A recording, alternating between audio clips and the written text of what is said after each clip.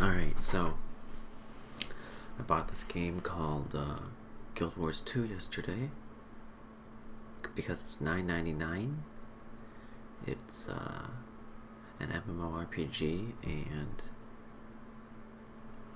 I crash whenever I play this game. Uh, I think you guys are going to see my email address that I used, but I really don't care. And I'll show you the crash. It's very unique. Uh, that doesn't make very much sense because I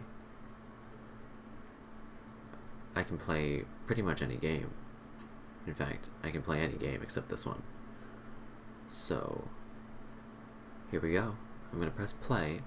What's to happen is uh, I'm to run it windowed.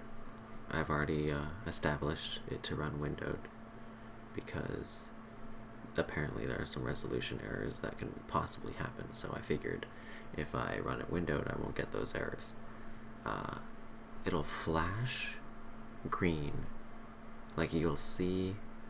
It'll almost work, and then it won't. Also, the cursor will be visible, and the music will be playing.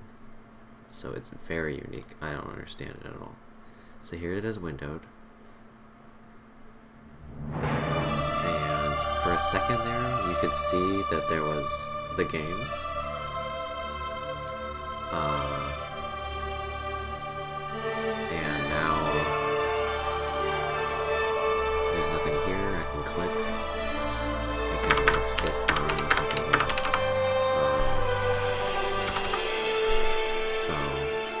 And I think it'll crash soon.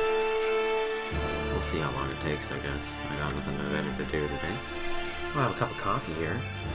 It's, uh, Cafe Du Monde. It's chicory. It's pretty good. It's chicory and, um, and coffee. It's a very New Orleans French kind of style. Uh, drink it pretty much every morning. And, this is kind of loud. Kind of loud. And, um, I enjoy coffee. Oh, I had afternoon tea yesterday. I went for afternoon tea. I had uh, tea and crumpets, tea and crumpets, biscuits and scones, um, ginger scones, cucumber and mint and cream cheese sandwiches. And these little, they're not like, don't think. Okay, here we go. Here is the crash. Uh, it's called a fatal disk error.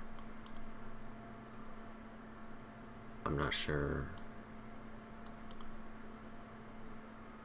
Uptime 2 minutes 50 seconds. So it wasn't very long. So yeah. Guild Wars 2.